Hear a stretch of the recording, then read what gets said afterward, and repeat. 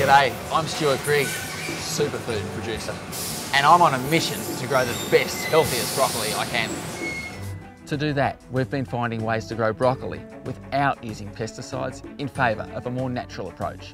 Some of our best allies are these tiny wasps.